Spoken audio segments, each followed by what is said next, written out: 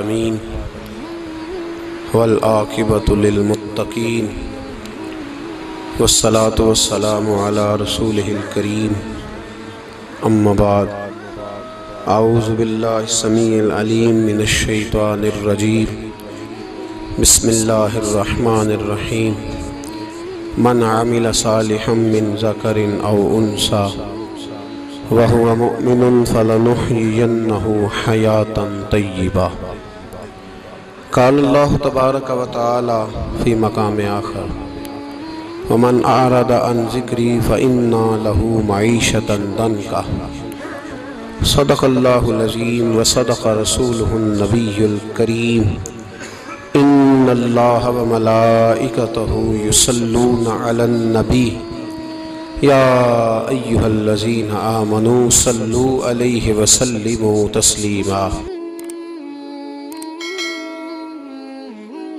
अल्लाहुम्म सल्लि अला सय्यिदिना व मौलाना मुहम्मदिन मादनिल जूद वल करम व आलिहि व सहबिहि व बारिक वसल्लम अज़ीज़ दोस्तों, इंसानी ज़िंदगी असरात लेती है। अच्छे असर भी होते हैं, बुरे असर भी होते हैं। इंसान को मौसम का असर भी होता है, इंसान पर उसके ख़ानदान का असर भी होता है, इंसान पर सोहबत का असर भी होता है।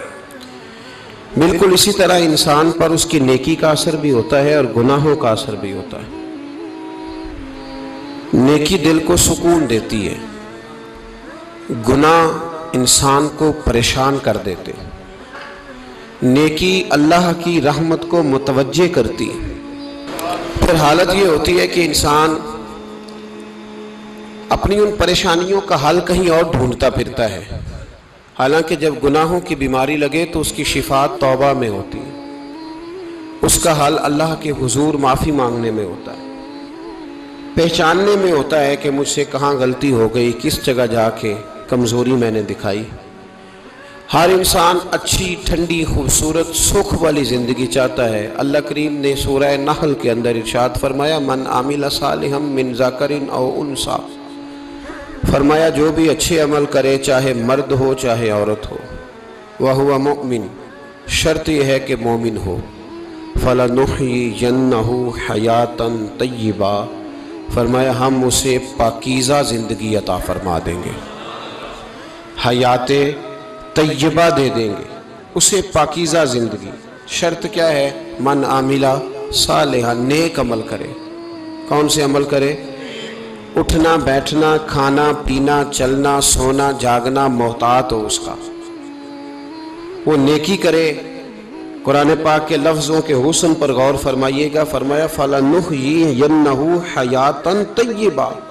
हम ज़रूर उसे पाकिज़ा ज़िंदगी अता फरमा दें। साफ़ सुथरी साफ़ सुथरी ज़िंदगी मीरी ज़िंदगी, खूबसूरत शब रोज़ आइडियल ज़िंदगी जिसको लोग कहेंगे, वो वाली ज़िंदगी उसे देंगे और दूसरे मकाम पर सूरह ताहा की आयत नंबर 124 में फरमाया, वमन आरादान जिक्री जो हमारे ज़िक्र से मुँह फेरेगा, जो हमारा खा के चेहरा किसी और तरफ़ करेगा, जो चलेगा हमारी ज़मीन पर, लेकिन तवज्जो किसी और तरफ़ होगी। आसमान की छत हमारी बनाई हुई, लेकिन इसके ख्यालात कहीं और होंगे। फ़ैन लहू मीशतन दन का फरमाया हम उसे तंग जिंदगानी अता कर देंगे उसकी ज़िंदगी तंग हो जाएगी उसकी मीशत तंग हो जाएगी गुनाह ज़िंदगी को तंग कर देते हैं नेकी ज़िंदगी में आसानी पैदा करती है आपको अगर ज़िंदगी में सुकून चाहिए हो तो आप किसी गरीब की खिदमत करके देखें अल्लाह कितना सुकून अता करता है आप बड़े पावरफुल भी हैं, बड़े ताकतवर भी हैं और बड़े बावकार भी हैं, लेकिन किसी को गाली दे के आपका दिल कभी ठंडा नहीं होगा। तकलीफ़ होगी। उसके अंदर आजमाइश होगी। डॉक्टर रिसर्च करते हैं, डॉक्टर। वो कहते हैं, गुनाह करने से आदमी जिस्मानी तौर पर कमज़ोर होता है। लेकिन वही अमल अगर वो बतौर नेकी करता है तो अल्लाह उसमें उसे कुव्वत अता फरमाता है। उसी अमल में अल्लाह उसे कुव्वत अता कर देता है। मैं सिर्फ़ इशारा दे रहा हूँ, इस बात की तफसील में नहीं जाना चाहता। मेरे अज़ीज़, ये याद रखें कि नेकी आपको सुकून देगी, नेकी आपको ठंडा करे। अल्लाह तबारक व ने कौमों पर अजाब नाजिल किया। और कुरान मजीद, फुरकान हमीद ने उन कौमों के तस्करे बयान फरमाए। भाई, किस लिए बयान किए कि हम इबरत हासिल करें? हम ये गौर कर लें कि ये काम हमने नहीं करना। इस काम से हमने बचना है। हमने गौर करना है कि ये चीज़ हमारे अंदर, लोग कहते हैं, नहीं जी, नहीं, हम पे ये अजाब नहीं आएगा, बिल्कुल नहीं आएगा, इसमें शक नहीं। पर अल्लाह ने बयान किस लिए किया था? बयान क्या? कुरान मजीद माज अल्लाह किसी ऐसी चीज़ का बयान करता है जिसकी ज़रूरत ना हो। कुरान पाक ने एक एक हरफ ऐसा बयान किया जिसकी मुसलमान को ज़रूरत थी। कौम नू का ज़िक्र फरमाया कुरान पाक ने। हज़रत नू सलाम की कौम को हज़रत नू सलाम ने पंद्रह सौ साल समझाया। पंद्रह, कुछ लोगों ने साढ़े नौ सौ साल लिखा है ना, आला हज़रत ने लिखा है, पंद्रह सौ साल उम्र हुई हज़रत नू सलाम की। अल्लाह ताला बंदे को जल्दी सजा नहीं देता। बल्कि कुरान मजीद में एक जगह रब करीम इस तरह भी फरमाता है कि जब बंदे मुझे भूल जाते हैं तो मैं उनके लिए नेमतों के दरवाजे खोल देता हूँ। बंदा समझता है कि मैं कुछ तो है ना कि मेरे अंदर कि मैं जिधर जाता हूँ, खैर ही खैर हो जाती है। वो समझता है कि मेरी अकल है। हालाँकि अल्लाह उसे ढील देता है। अल्लाह उसे ढील देता है। गुनाहों की सजा के तीन तरीके हैं। एक है मुतनबे करना। तंबी करता है अल्लाह। बंदा मुतनबे हो जाता है। ये अल्लाह का बहुत बड़ा एहसान होता है। एक होता है मोहलत देना। और एक तीसरा होता है अल्लाह खुफिया तदबीर करता है। थोड़ा सा समझिएगा। इंसान पर कोई आजमाइश आई? फ़ौरन उसकी छठी इसने कहा कि वो फलां जगह गलती की थी, तब ऐसा हुआ है। होता है ना कई दफ़ा। आवाज़ आती है ना अंदर से, चले बोल दे, कुछ नहीं होता आपको। अल्लाह जानता है यहाँ कोई कुछ नहीं कहेगा आपको। और हमारी तो वीडियो भी नहीं घूमती, यानी खबर भी नहीं हो कि किसने हाँ कर दी, किसने ना कर दी। आप बगैर टेंशन के बातचीत करें आज, कुछ नहीं होता इन ताला। आती है अंदर से आवाज़।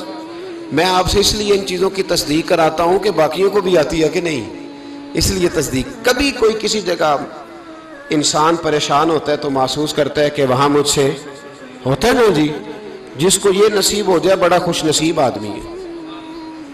हज़रत मौला अली फरमाते अगर तुझे दुनिया में सज़ा मिल गई तो तू बच गया है, समझ, फिर अल्लाह करम करेगा, आखरत में सज़ा नहीं देगा। और ये याद रख ले, वमा असाबकुम मिन मुसीबत फ़बीमा कसबत ईदी कुम वयाफ़ुअन कसीर। अल्लाह फरमाता है, दुनिया में तुझे जो भी तकलीफ़ पहुँचती है, वो तेरे हाथों के करतूतों की वजह से पहुँचती। वह याफुअन कसीर। फरमाया, कसीर गुना तो मैं वैसे ही माफ़ कर देता हूँ।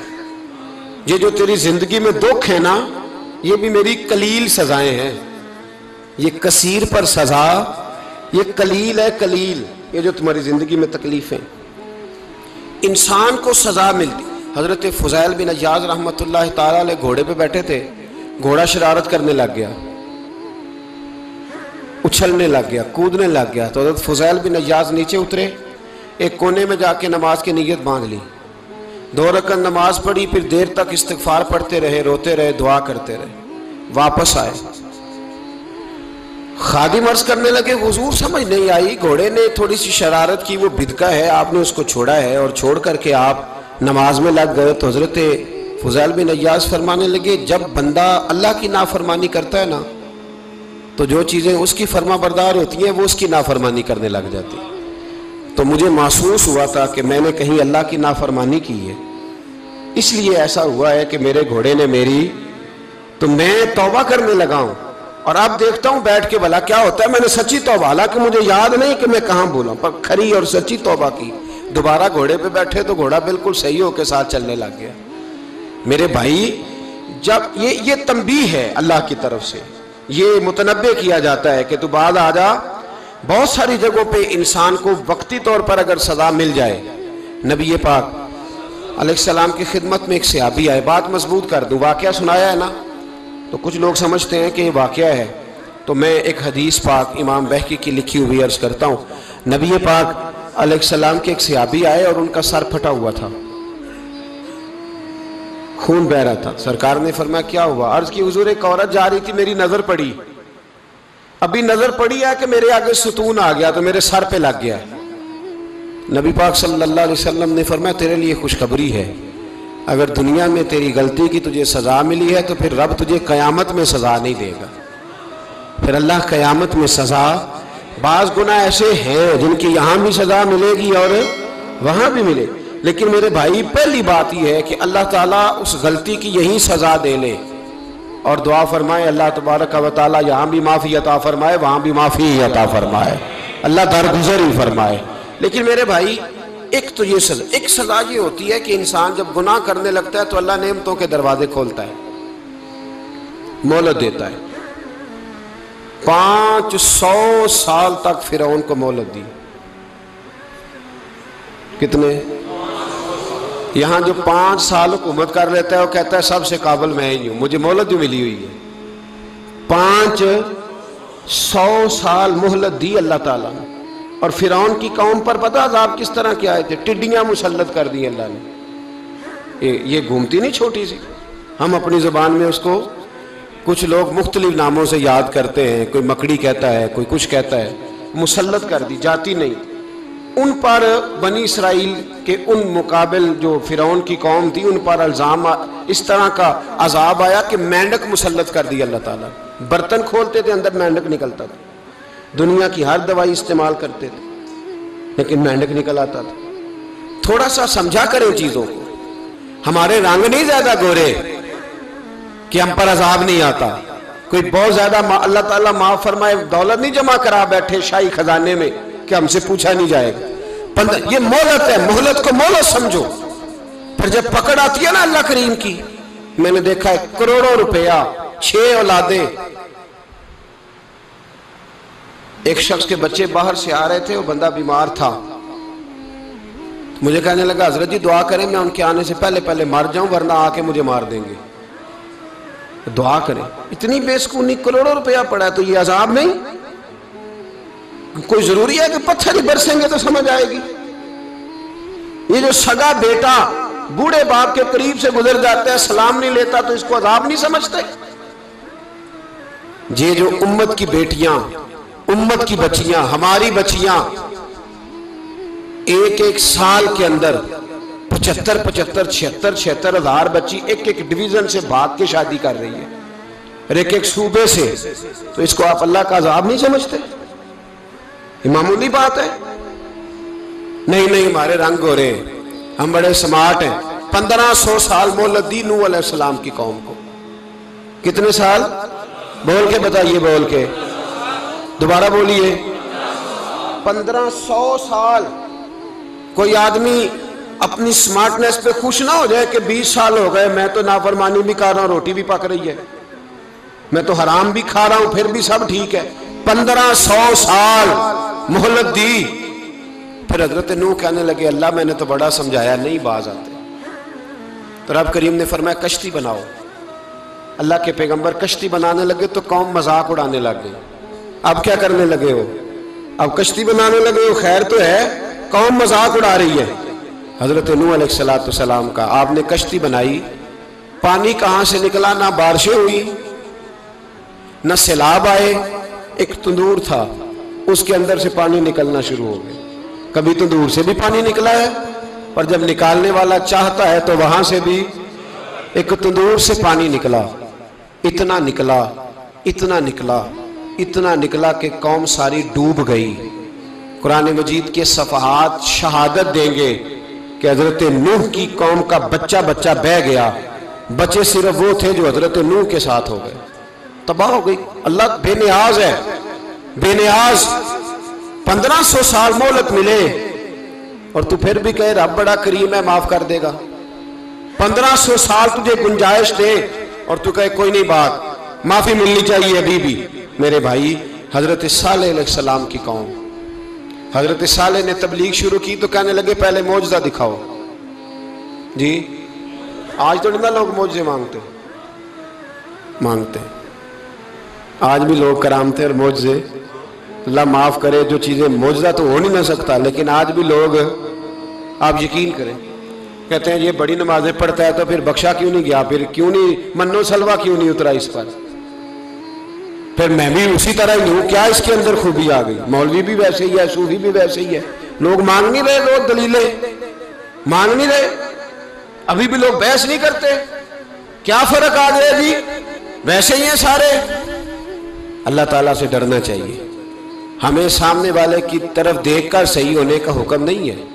हमें अपनी इसलाह का हुक्म है। अपनी तरफ़ देख के अपने आप को ठीक करने का। इल्ज़ाम लगा के गुजर जाना, इसका कोई मतलब सुनो और याद रखो। हज़रत साल से कहने लगे, पहले मुआवजा दिखाएँ। तो हज़रत साल ने फरमाया, ऊँट कहाँ से पैदा होते हैं? कहा ऊँटनी के बतन से? फरमाया, आओ, मैं तुम्हें पहाड़ के अंदर से ऊँटनी पैदा करके दिखाता हूँ। कहाँ से? पहाड़ के अंदर से। हज़रत नू साथ लेके गए तो पहाड़ के अंदर से ऊँटनी निकली और ऊँटनी भी गाबन थी। उसके पेट में बच्चा। और ऊँटनी इतना दूध देती थी कि सारी बस्ती दूध पी जाती थी, फिर भी दूध बच जाया करता था। लेकिन हज़रत नू सलाम ने फरमाया, अब तुमने देख तो लिया ये इसे, ये जितना दूध देगी, रोटी भी उतनी खाएगी। एक दिन तुम सारे पानी पियोगे, एक दिन ये सारा पानी पिया करेगी। एक दिन तुम सारे बाकी जानवरों को घास खिलाओगे, एक दिन ये ऊँटनी, और ऊँटनी का नाम क्या? नाका तल्ला अल्लाह की ऊँटनी। किसकी ऊँटनी? नाम क्या है? अल्लाह की, ये अल्लाह की ऊँटनी है। तो हज़रत नू सलाम की ऊँटनी फरमाया, इसकी बेदबी ना करना। बाज नहीं आए। लोग बाज नहीं आए। कहने लगे, जी, दूध देना तो ठीक है, पर ये जो सारा पानी पी जाती है ना, ये सही नहीं। ये जो सारी घास खा जाती है, ये नहीं ठीक। दूध देना तो ठीक है, पर ये नहीं सही। आपने फरमाया, इसे कुछ ना कहना। अल्लाह की उठनी है। मैं कहा करता हूँ, उन लोगों ने नाकातुल्ला की बेदबी की। हज़रत नू सलाम की ऊँटनी की टांगे काट दी सलाम की। और देखो अल्लाह बड़ा बेनियाज है। अगर पैदा करना जानता है तो हिफाजत करनी नहीं जानता। लेकिन रब करीम ने फरमाया, ना करना। उन्होंने उनके पैर काट दिए, कानों पर छुरियाँ लगाई। ऊँटनी जब मर गई, ऊँटनी अल्लाह तबारक वाली की वो ऊँटनी जब मर गई तो हज़रत सलाम की कौम पर रब करीम ने जलजला भेजा। इज़ा जुलजिलतिलअर्दुजिलजाला जब जलजले आएँगे और जब उनका जलजला आना ठहर जलजला आता है ना? क्या करती है कौम? ला इलाहा ला कल में जारी हो जाते बल्कि एक दफ़ा ऐसा भी हुआ कि मस्जिदों में ऐलान होने लगे, जलजला आ रहा है। जो फजर के लिए नहीं उठे, जलजिले के लिए वो भी उठ गए। जिनका दावा है ना, मेरी सवेरे आँख नहीं खुलती, उनकी लगी नहीं कितने घंटे। बाद में भी नहीं लगी। टीवी पे ऐलान होते रहे, कोई नहीं आ रहा, सो जाओ चुप करके। लेकिन आँख लगी, मौत से तो डरता है, अल्लाह से डरता ही नहीं। मौत का खौफ है, रब का नहीं। जलजिला आया, सारी कौम तबाह हो गई। बताओ, अगर नाकत अल्लाह की गुस्ताखी हो तो अल्लाह नाराज़ हो जाता है। और अगर अलिया अल्लाह की हो, अगर अलिया अल्लाह की हो तो रब नाराज़ नहीं होता। शर्म नहीं आती, लोगों को दाता साहब की बेदबी करते शर्म नहीं आती लोगों को, गौसे आज़म की गुस्ताखी करते। हया नहीं आती जिन्होंने दीन फैलाया, उनकी बेदबी मैं दर्द से कहता हूँ, रो के कहता हूँ, और अगर कलेजा फट सके तो मैं दिखाऊँ जख्म कितने। एक आज के मौके पर एक बाबा जी, उस साल चार लाख अस्सी हज़ार रुपए का प्राइवेट आज था, और बाबा जी की कैफियत कमज़ोर थी, बेचारे बीमार थे।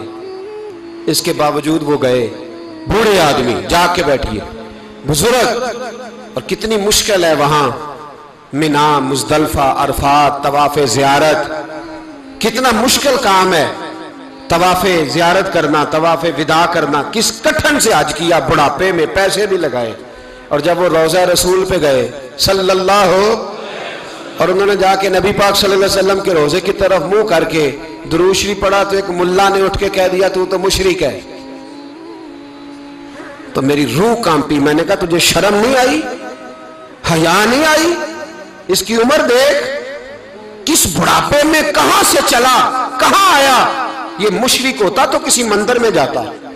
ये मुशरिक होता तो किसी गिरजे में जाता। ये मुशरिक नहीं, ये मोमिन है। और ये वो वाला मोमिन है जिसके सीने में दिल जब धड़कता है तो खाली धड़कता नहीं, साथ वो मोहम्मद अरबी पे दरूद सलाम भी पढ़ता है। शर्म नहीं आती लोगों को, इतनी बड़ी गुस्ताखी करते जो रोजा रसूल पे आया, मुशरक है। मैंने तो एक मौलवी को साफ़ साफ़ कहा था। मैंने कहा, अगर मैं मुशरक हूँ तो निकालो। मुशरक का दाखिला तो यहाँ वैसे ही मना है। शर्म नहीं आती अपनी ज़ुबान का पास करो कुछ। इतना जुल्म, इतनी बड़ी फिरका वारियत उम्मत में। इतना उम्मत को तकसीम करते हो, तुम्हें शर्म नहीं आती। जहाँ से इतिहाद का पैगाम देना चाहिए, वहाँ से तुम लोगों को फिरके का पैगाम देते हो, एक मकसूद फिरके की तबलीग करते हो। खुदारा। तो मैं कह रहा हूँ, नाकत अल्लाह की बेदबी पे अजाब आता है। तो अलिया अल्लाह की बेदबी में नहीं आता। दाता साहब सारी ज़िंदगी तबलीग करते रहे, एक आदमी ने उठ के कह दिया, जनाब, वो तो शिरक का अड्डा है। तो रब करीम नाराज़ नहीं होता इन बातों से। हमें ख्याल करना चाहिए, अल्लाह से डरना चाहिए। इन चीज़ों से अजाब आता है और आ रहा है। अल्लाह ताला हमें महफूज फरमाए। अल्लाह हमें इससे कौम लूत पे भी अजाब आया हम जिन्स परस्ती, मर्द मर्दों से बदकारी करते हैं। हज़रत नू ने समझाया कि यह काम दुरुस्त फितरत के खिलाफ है, ये काम दुरुस्त नहीं। जब इंसान ये काम करता है तो ज़मीन और आसमान कांपते हैं। अब मैं कैसे खोल के बताऊँ, मेरे पास आदाद शुमार हैं कि पाकिस्तान के अंदर इस काम की कैफियत क्या है। और किस तरह करके लोग, मैं तो रोना रोता रहता हूँ दाढ़ी का। लोग कई दफ़ा कहते हैं, हज़रत साहब, पहले भी आए थे तो दाढ़ी की बात, फिर भी आए तो दाढ़ी की बात तो मैं रोना रोता हूँ। इसलिए रोता हूँ कि जो क्लीन शेव नौजवान होता है, वो अमरद के हुक्म में उस पर वही हुक्म लगता है जो औरत पे लगता है। उसके साथ मर्द का उठना बैठना उसी तरह ना जाएगा जिस तरह औरत के साथ। हज़रत जुनैद बगदादी रहमत के सामने एक शख्स ने कहा, वो कितना खूबसूरत नौजवान जा रहा है। तो आप फरमाने लगे, तू तो हाफिज कुरान नहीं कहा? हाँ। फरमाने लगे, जा अपने हिफज की खैर मना। वो शख्स कहता है, मैंने उस बगैर दाढ़ी वाले क्लीन शेव नौजवान को बुरी नज़र से देखा, मुझे कुरान पाक ही भूल गया सारा। सारा कुरान पाक भूल और कितने साल मैं दुआएँ करता रहा, बैतुल्ला के तवाफ करता रहा, मैं याद भी करता तो नहीं होता। कैसे अब? अब तो हमारा नाथ कहाँ ब्यूटी पार्लर से होके आता है? हम किसी और को क्या पैगाम वो पैगाम, वो निज़ाम वो वो तरीका कार जिसका हुक्म था शरीयत में, कौम लूत पर अजाब आया। सही बैठते होंगे बच्चे जो मोटरसाइकिलों पे बैठते हैं। मैंने गुजरावाला की सड़कों पे बच्चों को, नौजवानों को जो तमाशे करते हैं, सरेआम देखा है तो मुझे डर लगता है। और कोई रोकने वाला नहीं, शुगल हो रहा है, हंस रहे हैं। और सामने औरतें भी हैं, सब हो रहा है। कितनी तकलीफ़ की बात। हज़रत नू की कौम ये काम करती थी, कुरान पाक ने बयान किया है। हज़रत नू ने समझाया, फरमाया, रब करीम ने तुम्हें अपनी ख्वाहिश पूरी करने के लिए जायज़ तरीका अता फरमाया, औरतों से निकाह करो, और इस निकाह की बरकत से जो अल्लाह तुम्हें औलाद देगा, उसको अल्लाह तबारक व ताला तुम्हारे लिए बाईस बख्शिश भी फरमाएगा। लेकिन जब कौम न मानी तो जो कौम कौम में लूत का अमल करे, उसका इलाज कुरान ने बयान फरमाया कि आसमान से पत्थर बरसेंगे। फिर पत्थर बरसे पत्थर बरसे और जिनके बड़े बड़े अच्छे दिमाग थे, उनके दिमाग चकनाचूर कर दिए गए। तबाह कर दिए गए उनके दिमाग। ज़मीन पर बिछाड़ दिया गया। अल्लाह मोहलत देता है। लेकिन इसका मतलब ये नहीं कि इंसान तोबा ही ना करे। हज़रत शुएब सलाम की कौम पर भी अदाब आया। इसलिए कि बदयांती करती थी। नाप तोल में कमी करती थी। मैंने कहा था शब कदर की रात, कि ये कोई तमाशा है? कि शब रात आई तो सारी रात रोते रहे, या अल्लाह माफ़ कर दे, या अल्लाह माफ़ कर दे, रो रो के चीखे मार मार रोए। शब कदर आई तो फिर चीखे मारी, सारी रात रोए। तो जिस बंदे का प्रोग्राम ही नहीं सवेरे बदलने का, दुकान पे बैठ के फिर वही नाप तोल में कमी। फिर वो अल्लाह ताला माफ़ करे, मैं एक मजमून पढ़ रहा था तो वो फ़ूड के स्पेशल लोग तुम्हें लिखा था, मेहरबानी करो, मिलावट ही अच्छी चीज़ की कर लो। मिर्च में केरी तो ना ना मिलाओ ईंटों की, वो तो बीमार करती है। वो तो खून की आंतों को रोक देती है। वो कहने लगा, और वो कहता, मैं तुम्हें बताता हूँ कौन कौन सी चीज़ मिलाई जा सकती है, वो मिला लो। खुदारा, इस कौम पे रहम करो, मेहरबानी। एक दोस्त है हमारे, मैं वजीराबाद में उनके घर बैठा था तो एक मेडिकल, मेरा किसी शख्स पे इतराज करने का मैं मजमू बात करता हूँ। मैं ऐसे डॉक्टरों को जानता हूँ जो अल्लाह ताला फजल करे सचमुच के नेक हैं, अच्छे लोग। तो बच्चे का मेडिकल स्टोर है तो वालिद बीमार हो गया। तो कहता है अब्बा जी डॉक्टर साहब ने कहा, आपको ड्रिप लगनी है। तो सगे बाप को ड्रिप लगाने लगा तो बाप क्या कहता है? कहता है, पुत्र, तेरी मेहरबानी, मैनू कोई असली लाई। ਉਹ ना लाई जी लोगों लाना। है अब वो वो प्यार से सुना रहा है बात। मैंने उसे कहा कि ये तो डूब मरने का मकाम है ना। डूब मरने का मकाम। कि जिस मुल्क के अंदर दवाई भी सही ना बिके, असली ना मिले, दवाई भी। और फिर वो कौम कहे कि हमने तो पूरे रोज़े रखे हमने तो बड़ा सदका और खैरात किया। दवाई भी असल ना मिले। जनाब शुएब सलाम की कौम नाप तोल में कमी करती थी। तो अल्लाह तबारक वाली ने उन पर बता साहब किस तरह का भेजा। शदीद गर्मी हुई। अल्लाह हमें महफूज फरमाए। सारे आमीन कह दिया। देखे कितना अच्छा मौसम कर दिया रब करीम। अल्लाह हमें महफूज फरमाए। अल्लाह रहमत फरमाए। शदीद गर्मी की लहर आई। बाहर इतनी गर्मी हुई कि लोग अपने घरों में घुस गए। जिस तरह सूरज की शुआएँ घरों के अंदर दाखिल हो जाती है, इस तरह गर्मी की लहर अंदर दाखिल हुई। और जिस तरह किसी को आग लग जाए तो वो आदमी उछलता कूदता है ना? इस तरह ये लोग उछलने लगे और उछल कूद के मर गए। जुर्म क्या था? नाप तोल में कमी करते। हज़रत दाऊद की कौम भी तबाह हुई। जुर्म क्या था? हफ़्ते वाले दिन मछलियाँ नहीं पकड़नी तो ये पकड़ते थे। हुक्म है ना मुसलमान को, नमाज़ के टाइम कोई और काम नहीं करना, नमाज़ पढ़नी है। तो मेरा ख्याल है मुसलमान तो फटाफट आ जाते हैं सारे ही। पहुँच जाते हैं ना मस्जिदों में। हल्का हल्का बोल रहे हैं आप। क्यों नहीं पहुँचते? अगर हज़रत सैयद और पता उन्हें सजा क्या मिली? अल्लाह ने फरमाया, इस टाइम इबादत करनी है, काम नहीं करना। वक्त नहीं है काम का। उन्होंने मछलियाँ पकड़ी। बारह हज़ार लोग थे। पता मालिक ने सजा क्या दी? बंदर बना दिया अल्लाह करीम कुरानी मजीद का पहला सपारा पढ़े। फजा अल्लाह नकाल बैना जदई हवा खलफा अल्लाह फरमाते पिछलों के लिए भी इबरत बना दिया, बाद वालों के लिए भी इबरत, निशान इबरत बना दिया बंदर बन गए। और जो उनके दोस्त जो बच गए थे, उनके पैर चूमते थे, रोते थे, तीन दिन बंदर बन के ज़िंदा रहे, फिर अल्लाह ने सबको इज्तमाही मौत दे दी। तो अगर मुसलमान से अल्लाह कहे कि नमाज़ के टाइम कारोबार नहीं, जुमे के टाइम कारोबार तो मुसलमान कहता है, नहीं, मुझे मोहलत मिली हुई है। ये तो उस वक्त पता चलता है ना, जब बच्चे ड्यूटी लगाते हाँ हाँ हाँ अजाब आता है?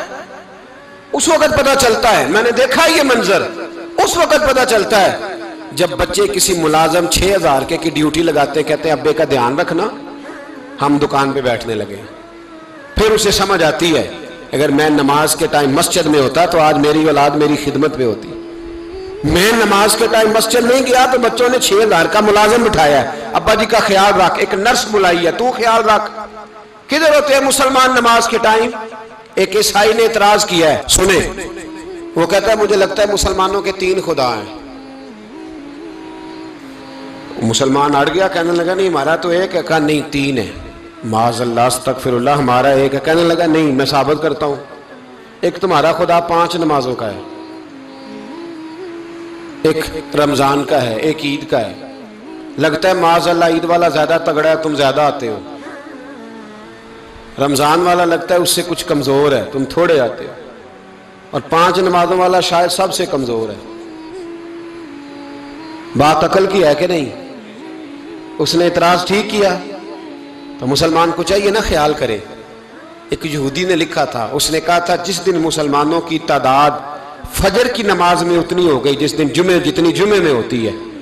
उस दिन ना कोई यहूदी साजिश करेगा, ना कोई ईसाई तलवार निकालेगा। शर्त यह है कि ये उसी तरह फजर पढ़ने आए, जिस तरह जुमा पढ़ने आते हैं। तो फिर कोई शख्स भी इनको किसी जगह शिकस्त दे सकता तो अपने, हमारे गुनाह हमें परेशान करते ये जितनी आजमाइशें हैं, इनके पस मंज़र में गुनाह है। हमारी ज़िंदगी के अंदर जितनी तकलीफ़ें हमारी परेशानियों का सबब हम खुद हैं। बहुत सारी जगहों पे हम गलती करते हैं, उसकी हमें सज़ा मिलती है। गलती की सज़ा, एक नौजवान ने मुझे बड़ी गहरी बात सुनाई, मेरा करीबी ताल्लुक था, कहने लगा, घर में बड़ा मसला है, बड़ी परेशानी है।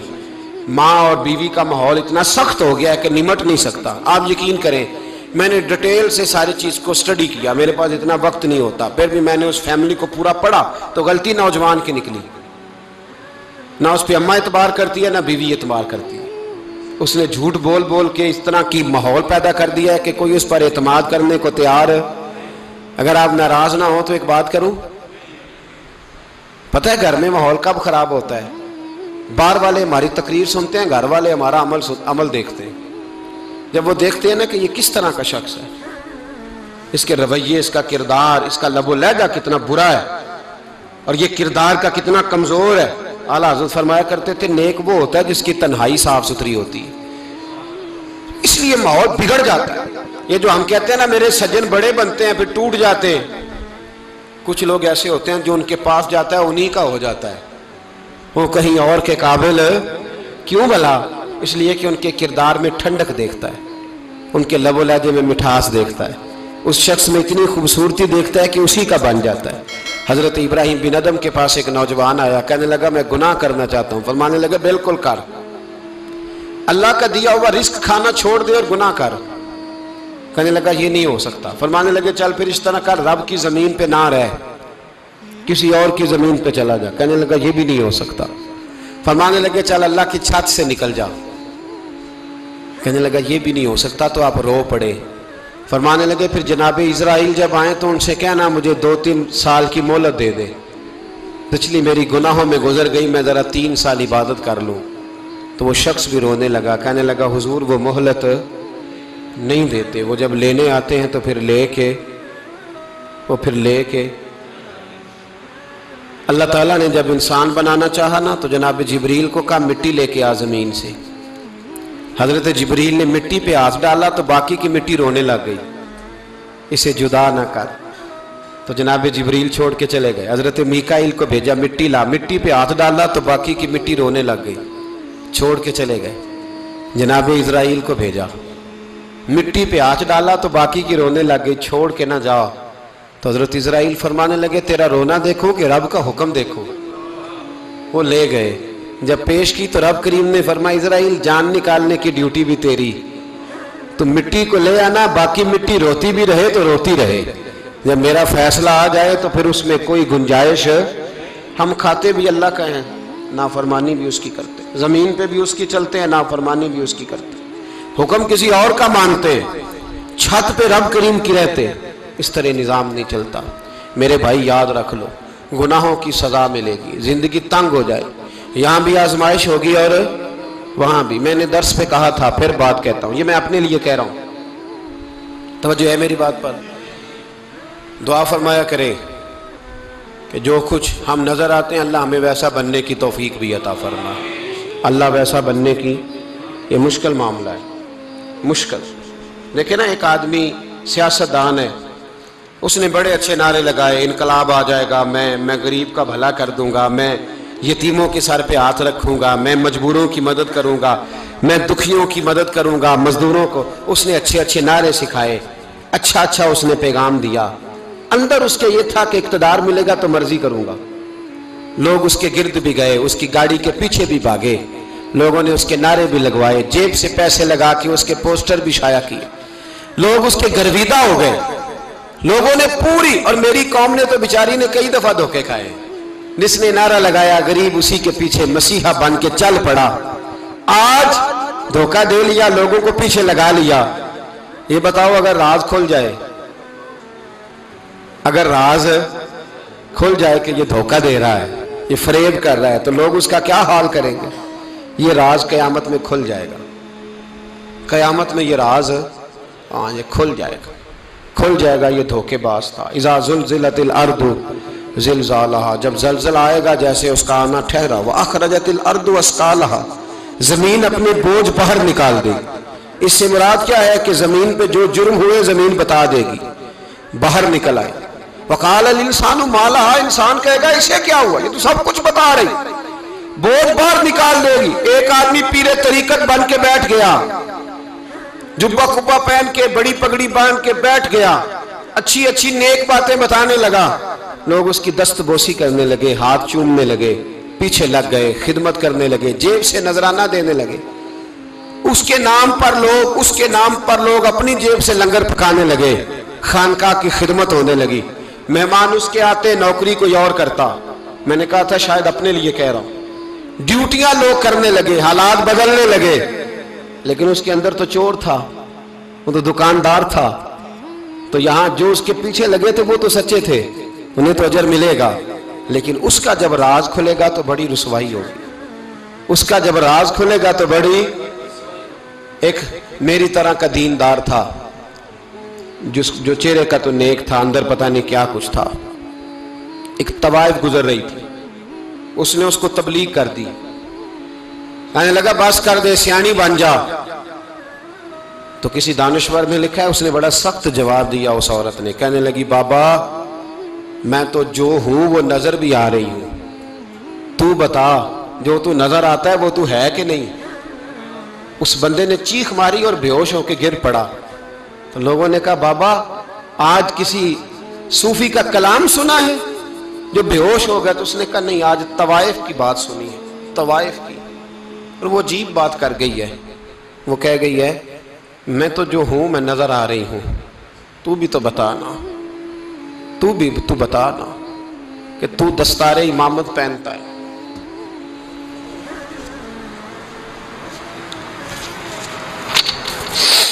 तू बता, तू जो कहलाता है, तू वो है कि नहीं? ये वकाल अल इंसान माला। ये राज कयामत में खुलेगा। हम जो कुछ बता रहे हैं ना अपनी ज़ुबानों से, हमें अपने गुनाहों का एहसास होना चाहिए। ऐसा ना हो कि जब सज़ा मिले तो फिर इस तरह की मिले कि दोबारा किसी को कोई मुँह दिखाने के काबिल न रहे। मेरे भाई, याद रखें और समझें, गुनाह इंसान की ज़िंदगी को तंग करते हैं मेरे नबी पाक। सलाम ने फरमाया, जब तू झूठ बोलता है तो तेरे फरिश्ते, किरामन कातबीन साइड पे होके खड़े हो जाते हैं। जब तू जिना करता है तो तेरे अंदर से ईमान निकल जाता है। और नबी पाक सलाम ने फरमाया, जब मेरी कौम में नाइंसाफ़ी आम हो जाएगी तो कत्ल भी आम हो जाएगा। और सुन लो सुन लो, लिख लेना ये हदीस, दिल की तख्ती पर। नबी पाक सलाम ने फरमाया, जब मेरी कौम में बेहयाई और बदकारी आम हो जाएगी तो दो सजाएँ अल्लाह देगा। एक तो जवान मौतें आएँगी। जवान जवान बच्चे, कुछ भी नहीं देखा चले गए और दूसरी सजा अल्लाह ये देगा कि ऐसी बीमारियाँ आएँगी जिनका इलाज नहीं मिलेगा। ऐसे अमराज फूट पड़ेंगे। अगरचे मैं आपको ऐसी तकरीर भी सुना सकता था जिस पे आप बहुत ज़्यादा महजूज होते, पर मैंने जुमा इस जुमे में ऐसा मौजू चुना है जिसका हमें ख़ास ज़रूरत है। भाई, देखे तो सही कहीं ऐसा तो नहीं कि हम उन ऐबों में मुबतला हैं, मेरे नबी करीम। सलाम ने फरमाया, जब तुम नेकी का हुक्म देना नेकी का हुक्म देना और बुराई से मना करना छोड़ दोगे, फिर अल्लाह तुम पर जालिम हुक्मरान मुसलत करेगा। और अगले लफ्ज, उससे भी ज़्यादा सख्त हैं। महबूब फरमाने लगे, फिर तुम्हारी नेक लोग दुआएँ भी करेंगे। तो अल्लाह वक्ती तौर पर उनकी दुआओं को भी कबूल नहीं फरमाएगा। इसलिए कि तुम लोगों ने नेकी का हुक्म देना और भलाई से रोकना छोड़ दिया। अजीज़ों, याद रखो, जब गुना आम होते तो फिर हालात बदलते और लोगों को सज़ा मिलती है उनके गुनाहों की। बल्कि यहाँ तक लिखा है कि नीयत ख़राब हो तो सज़ा शुरू हो जाती क्या ख़राब हो? बोलिएगा। नीयत भी ख़राब हो तो सज़ा हज़रत रूमी कहते हैं कि एक बादशाह को पता चल गया कि एक आदमी ने बड़ा अच्छा बाग लगाया है। खूबसूरत बाग है। माल्टे का, किन्नों का बाग। बड़ा प्यारा। बादशाह ने कहा, जरा जाके देखता हूँ। बादशाह सलामत बाग देखने आए। तो अब वो मजदूर आदमी था, आम आदमी था जिसने बाग लगाया, किसान था, उसको कहा कि, चंद किन्नों तोड़ के ला। तोड़ के लाया तो बड़े प्यारे लगे। एक दो और ला, और लाया, खाए, बड़े मीठे, बड़े प्यारे, बड़े तवाना, बड़ा मज़ा आया। तो बादशाह के दिल में ख्याल आया कि इस पे कब्जा ना कर लूँ बाग पे। हमारे यहाँ ना किराए पे दुकान देता ना मालिक। तो जब किसी गरीब की चल जाती है, कहता तू खाली कर, मैंने खुद डाल ली है। चल गई ना उसकी। हालाँकि रिस्क अपने अपने नसीब का है। रिस्क अपने अपने नसीब का है, जिसको अल्लाह ताला चाहता है, अता करता है। तो उसको कहा कि और तोड़ के ला, और दिल में ख्याल है कि यार इतना अच्छा बाग है, कब्जा कर लेते हैं। हमारी हुकूमतें कब्जा कर लेती है कि जो चीज़ अच्छी लग जाए। अब वो किसान दो तीन किन्नों तोड़ के लाया, उसने खाए तो खट्टे निकले, तुर्श थे। कहने लगा, तुझे क्या हो गया है? तो बंदा बड़ा साहिब दिल था। कहने लगा, मैं तो ठीक हूँ, आप अपनी नीयत से पूछें, कहीं खराब तो नहीं हो गई? तो किन्नों में भी उसका असर आ गया है। अपनी नीयत तो नीयतें बिगड़ जाए ना, नीयतें। अब एक बात कहने लगा हूँ। गौर सुन, गौर से सुनना। जब तक दो भाई इकट्ठे कारोबार करते हैं, नीयत होती है कि हमारा घर चलेगा। तब तक अल्लाह बरकत देता है। और जब अपनी अपनी जेबें समेटने लग जाते हैं ना कि ये मेरा पाँच हज़ार है, आज मैं गया था उगराई करने। ये मेरा दस हज़ार है, आज मैंने मेहनत ज़्यादा की। जब वो टटोलने लगते हैं, फिर उस दुकान से भी बरकत उठ जाती है। फिर वहाँ से भी बरकत चली जाती है। फ़ैन्ना लहू मीशतन दन का। फरमाया, जब तू मैं मुँह फेर लेता है, फिर तेरी ज़िंदगी अल्लाह तंग कर देता फिर वहाँ से भी बरकत, खूबसूरती, असर उठ जाता है। एक सुनार ने गली में एक यतीम छोटे से बच्चे को घूमते देखा तो सुनार बे औलाद था, बच्चे को उठा के घर ले आया। अठारह साल उस बच्चे की परवरिश की, उसको पाला, पोसा, जवान किया। सुनार के पास वो दुकान पे चला जाता, वो कई दफ़ा दुकान पे रहता, कई दफ़ा घर में रहता। एक दफ़ा वो दुकान पे था, बच्चा घर था, अठारह साल का जवान। उसकी बीवी अकेली थी। वो जिसने माँ बन के पाला था, उसने उसी पे हमला कर दिया। उसका बाजू बुरी नीयत से थामा। बीवी चीखी। थोड़ी देर गुजरी तो वो नौजवान पैरों में बैठ गया। कहने लगा अम्मा पता नहीं मुझे क्या हुआ? शाम को सुनार आया। बीवी चीखने लगी, चिल्लाने लगी। कहने लगी, आज अजीब बात हुई। जिसको मैंने जिगर का खून दे दे के पाला, उसी ने गंदी नज़र डाली। सुनार महवे हैरत है। बीवी का ख्याल था कि लाठ उठाएगा, डंडा उठाएगा। नौजवान को मारेगा, लेकिन वो रोने लग गया। उसने कहा, आज उसने मेरा बाबू था मैं जाने क्या किया है? परेशान होने लग गया, सजदे में गिर गया। कहा, तू बताता क्यों नहीं? तो वो सुनार कहने लगा, उसकी गलती नहीं। अट्ठारह साल के बाद आज मुझ पर भी शैतान सवार हुआ था। एक औरत आई थी, वो अपने बाजुओं में चूड़ियाँ पहनना चाहती थी तो मैंने भी गंदी नज़र से हाथ डाला था। रब करीम ने मुझे फ़ौरन उसकी सज़ा दी। जिनके घरों में बेटियाँ होती हैं, उनकी नज़रें गंदी नहीं होती। जो बेटियों के बाप होते हैं, जो बहनों के भाई होते हैं, उनकी नज़रें गंदी। और अगर तू टेलीफोन करता है, तू किसी औरत के साथ ताल्लुक रखता है तो ये बात लिख ले। इमाम फखरुद्दीन राज़ी एक, अलामा इस्माइल हकी दो, मुल्ला जलालुद्दीन रूमी तीन, इमाम खाजन चार, इमाम जलालुद्दीन सयूती पाँच। पाँच हदीस के उस्ताद और मुहदस लिखते हैं। कि अगर तू किसी पर गंदी नज़र डालेगा तो तेरा घर बच सकता। याद रख, नहीं बचेगा इसलिए कि तेरी नज़र किसी की बेटी को बेटी समझ, ताकि तेरी बच्ची का पर्दा कायम रहे। किसी की बहन को ये क्या बात हुई? कि तू जितना मर्ज़ी गंद मुआशरे में फैलाता रहे, तेरा घर बचा रहे, ये कैसे हो सकता? है फाइना लहू मई शतन दन का। अल्लाह फरमाते हैं, ज़िंदगी तंग हो जाएगी तेरे लिए। तेरे लिए मुश्किल, तू ढूंढता फिरेगा कि मैं मरने को जगह तलाश करूँ। सच्ची तौबा करे, खरी तौबा करे। ये गुनाह इंसान को मजबूर कर देते हैं। हज़रत अब्दुल्ला बिन मुबारक रहमत उनके सैकड़ों शागिर्द थे। एक शागिर्द के इंतकाल का वक्त आया तो घर गए मिलने। आप कहते हैं, मैंने ज़ोर लगा लिया, पर उसकी ज़ुबान पर कलमा जारी नहीं हुआ।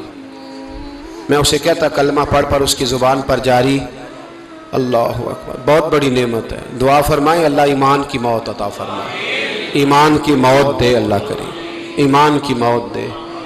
ऐसे भी लोग देखे हैं, मस्जिद नबवी है, रसूलुल्लाह का शहर है। सर सजदे में है, रूह परवाज कर गई। रूह पर कितना नसीबों वाला है। कितना नसीबों वाला कि मस्जिद नबी में सर सजदे में रखा है। और अल्लाह तबारक वाली ने महबूब के कदमों में मौत अता फरमाई। तो हज़रत अब्दुल्ला बिन मुबारक कहते हैं, मैंने उसको कहा, कलमा पढ़ तो उसकी ज़ुबान पे जारी नहीं होता। मैं बार बार कहता तो वो मिन्नत करता, कहता, हजूर, मैं कोशिश करता हूँ, जारी नहीं होता। फरमाते, मैं परेशान हो के उठा। अभी मैं दरवाजे पे पहुँचा था, उसने चीख मारी और रूह परवास कर गई। बच्चे रोने लगे, बीवी रोने लगी तो मैंने उसकी बीवी से कहा कि जुर्म क्या करता था? इतना बड़ा पापी पे कलमा जारी नहीं हुआ। उसकी जोजा कहने लगी, हज़रत जी, दो गुनाह थे इसके। एक तो ये शराब का आदि था, रोकती थी, बाज नहीं आता था। और दूसरी बात यह कि ये अपनी अम्मा का नाफरमान था। वो दो गलियाँ छोड़ के रहती है, ये कभी मिलने नहीं गया था। उस बूढ़ी का कलेजा इसकी तरफ़ से बड़ी तकलीफ़ में था। तो हज़रत अब्दुल्ला मुबारक कहने लगे, जा, तू भी दुआ कर उसकी माँ को भी कह दुआ करे कि यहाँ तो ये कलमा नहीं इसे नसीब हुआ, अल्लाह करे, अल्लाह आखरत की मंजिल इसकी बेहतर फरमा दे। मेरे भाई, ऐसे गुना हज़रत मालिक बिन दिनार ने तौबा की। तौबा की उन्होंने। किस तरह? फरमाते, मैं नशे का आदि था। किसी ने मुझे कहा कि बतौर दवाई शराब पी लो तो मैंने पी ली। नशे का आदि था। शराब पीता था। अल्लाह ताला ने बड़ी मन्नतों और कोशिशों के बाद, मिन्नतों के बाद एक बेटी अता फरमाई। वो भी ढाई, तीन साल की हुई तो पर्दा कर गई। कहते, मैं उसकी कब्र पे बैठ के घंटों रोता, शराब का आदि एक दिन सोया तो ख्वाब देखता हूँ कि मेरे पीछे एक बड़ा सांप लग गया और सांप जब मुँह खोलता है तो अंगारा निकलता है। मैं फिर दुआ करता हूँ, अल्लाह हमें माफ़ फरमाए। अल्लाह हमसे दरगुजर। मैं कुछ कब्रस्तानों में जाता हूँ तो मैं वहाँ, मैं सांप बिच्छू फिरते हुए देखता हूँ। तो डर आता है। डर आता है कि हम यहाँ आने वाले हैं। ये लोग कह रहे हैं कि तुम, तुम्हारी तैयारी है। किसी वक्त भी ऐलान हो जाएगा कि चलो भाई, चलो, फलां साहब का जनाजा है, उठो। लोग कहते हैं, जल्दी करो। और एक कोने में एक शख्स ये भी कहता है कि देख भी रख लो, मेहमान बड़े जमा हो गए। और एक कोने में यो लोग ये भी कहते हैं कि बर्फ़ ठंडी ले आओ, लोगों ने पानी भी पीना। पहले ऐलान होता है कि फलां फौत हो गया, फिर ऐलान होता है जनाजे का टाइम हो गया, फिर ऐलान होता है जनाजा उठाया जाएगा। और फिर बात ख़त्म हो जाती है। फिर कुल्लुमन अलई हफ़ान फिर कोई नहीं पूछने आता। ख़त्म हो गया किस्सा ही ख़त्म हो गया। उन लोगों की कहानी मिट गई। ख़त्म हो गए। बड़े बड़े कज कुला। कोई पूछने वाला नहीं। मौत का राज है राज है, मौत का राज। मौत राज करती है बस, और किसी का राज नहीं। वो राज करती है, जिधर जाती है, उसी का राज है। राज कर रही है। तो हज़रत मालिक बिन दिनार कहते कब्रस्तान में मैंने देखा, मैं ख्वाब देखता हूँ, बड़ा अजदहा उसके मुँह के अंदर आग मेरा पीछा कर रहा है। कहते मैं ख्वाब देख रहा हूँ। मैं दौड़ा, लेकिन वो अजदहा जब मैं दौड़ा तो मेरे आगे आके खड़ा हो गया। मैं मशरक को दौड़ा तो वहाँ भी आ गया, मगरब को दौड़ा तो वहाँ भी आ गया। जनाब मालिक बिन दिनार कहते हैं, एक बूढ़ा शख्स कमज़ोर मुझे बचाने आया, पर उस अजदहा ने फूक मारी तो वो बूढ़ा आदमी दूर जा गिरा। कहते, मैं चीखता था, चिल्लाता था, एक पहाड़ी पे मैं भागा गया तो वहाँ मुझे मेरी बेटी मिली। मुझे फौत हो गई। वो उस अजदहे के आगे उसने यूँ हाथ किया तो अजदहा पीछे भाग गया। मैंने बेटी को गोद में उठाया। मैंने कहा, बेटी, ये कौन था? कहने लगी, अब्बा, ये तेरा बुरा अमल था। ये तेरा बुरा अमल था। ये तुझे खा जाता अगर मैं ना होती।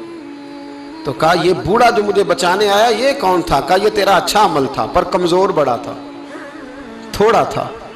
ये तेरे बुरे अमल का मुकाबला करने की हिम्मत नहीं रखता था। तो हज़रत मालिक बिन दिनार कहते हैं, मेरी बेटी ने ख्वाब में मेरी दाढ़ी पकड़ ली। और कहने लगी, अब्बा, मैं चाहती हूँ तू सही हो जा। ऐसा ना हो कि फिर तेरे पीछे ये अजदा लग जाए। हज़रत मालिक बिन दिनार कहते हैं, जब मैं सो के उठा तो मेरी दाढ़ी आंसुओं से भरी हुई फिर उसके बाद मैंने तौबा की। इस तरह की तौबा की कि फिर मैंने कोशिश की कि दोबारा मैं अपने रब की नाफरमानी ना करूँ। हज़रत अब्दुल्ला इबन अब्बास फरमाते थे, जो दुनिया में हंस हंस के गुनाह करते हैं ना, हंस हंस के, झूठ हंस हंस के बोलते हैं। हंस हंस के लोगों की गिबत करते हैं। फरमाया ये जो तुम्हें हंस हंस के गुनाह करते नज़र आते हैं, इनका रोना कयामत में देखा नहीं जाएगा। इनके आँसू कयामत में देखे नहीं जाए जो हंस हंस के गुनाह करते। ये रोएँगे, फल यद हकू कलीलम वल यबकू कसीरा। रब फरमाता है, ज़्यादा रोया करो, कम हंसा करो। नबी पाक सलाम रोते तो सहाबा कहते, हुजूर, आप इतना क्यों रोते हैं? तो माबू फरमाते, जो मैं जानता हूँ, वो तुम नहीं जानते। भाइयों, कब्रों में अकेले जाना है। कभी गौर करना अकेले कोई बंदा साथ हिसाब देने नहीं जाएगा। अम्मा बड़ा प्यार करती है, लेकिन कब्र में कभी कोई माँ भी साथ दफन नहीं होती। अपना अपना हिसाब देना, मुश्किल वक्त है। हिसाब कर लेना चाहिए, तैयारी करके रखनी चाहिए। गुनाह अगर यहाँ हमारी ज़िंदगी को तंग करेंगे तो वहाँ भी हमारे लिए मुश्किल पैदा करें। नबी करीम सलाम ने फरमाया है कि अल्लाह बड़ा मेहरबान है, अल्लाह बड़ा करीम है, अल्लाह बड़ा सत्तार है। और याद रखो, जब कोई उसकी रेट को चैलेंज करे, जब कोई उसके कानून को तोड़े, जब कोई अल्लाह की एलानिया नाफरमानी करे, फिर रब करीम की गैरत को, उसके अदल को जोश आता है। तौबा करे सच्ची, मस्जिद की हाज़िरी दे पाबंदी के साथ। मेरी आपसे हमेशा ये गुजारिश रहती है कि मस्जिद की हाज़िरी पाबंदी से दे। मैं अपील करता हूँ, दाढ़ी रख ले, ये मेरे नबी का तरीका है। सल्लल्लाहु ताला वापस आ जाए। हमारी बका ना हमारे दीन में है। कोई नहीं हमें रखेगा, कोई नहीं रखेगा। कोई नहीं, मुझे, मेरा एक दोस्त रात बता रहा था कि सऊदी अरब में एक शख्स ने तीस साल मेहनत की। तो जब वो मरा है, वहीं उसके घर में फ़ोन किया तो उसके घर वालों ने कहा, जनाब, आपको मुश्किल होगी, डेड बॉडी भेजने में वहीं दफन कर दें। हाँ अगर उसका कोई पैसा है तो वो ज़रा अकाउंट में भेज दें, बच्चियों को ज़रूरत है। ओ भाई तू अकेला जाएगा। तेरे लिए मुश्किल हो जाए। अपने भी साथ यकीन करें, बच्चे दुआएँ कराने आते हैं, कहते हैं, हज़रत जी, दुआ करें, अल्लाह अम्मा की सख्ती माफ़ कर दे। इसका मतलब क्या है कि अम्मा अब जाए, अब हमारा नंबर आए। बच्चे तो इंतज़ार कर रहे हैं कि अब्बा जाए और गद्दी पे हमारा नंबर आए। तैयारी है, अकेले जाना है, अकेले, सख्त सा मरहला है, अकेले सारा कुछ फेस करना आज तौबा करें। वहाँ के कीड़े यहाँ रह के मारे। अपने साथ जुल्म ना करें। हम इस काबल नहीं कि वहाँ जाके मुकाबला कर सकें। बचें, अपने आप को महफूज करें, बचाएँ, हिसाब अपना अपना देना है। किसी बाप ने अगर अपने बच्चों को हराम खिलाया तो बच्चे तो नहीं कह रहे थे ना कि हराम लेके आ तो बाप ने हिसाब देना, वालिद ने, लिहाजा मेहरबानी फरमाए, अपने ऊपर अपने ऊपर रहम खाएँ, अपने आप को सवारे, आज जुमातुलविदा है, तोबा करें, अल्लाह के नेक बंदों की सोबत में बैठा करें, अच्छी बातें सुना करें, ताकि दिल नरम रहे। उन जगहों से बचें जो गुनाह की तरफ़ लेके जाती। जुल्म से, ज्यादती से, जबर से बचें। अपने आप को अपने रब करीम की बारगाह में झुका दें। हमारा कहीं और गुजारा नहीं। कोई नहीं हमें पूछेगा। इकबाल, रो पड़े आखिरी उम्र में। रो पड़े। और अल्लाह की बारगाह में अर्ज़ करने लगे, ना जहाँ में कहीं भी अमां मिली। जो अमां मिली तो कहाँ मिली? मेरे जुर्म खाना खराब। तेरे अफवे बंदा नवाज़ में। पना सिर्फ़ अल्लाह रसूल की बारगाह में। बाकी कोई पनाह देने को तैयार नहीं है, दुआ करता हूँ अल्लाह की बारगाह में। अल्लाह हमें सच्ची तौबा की तोफ़ी अता फ़रमाए। आखिर दावाना अनिलहमदिल्ला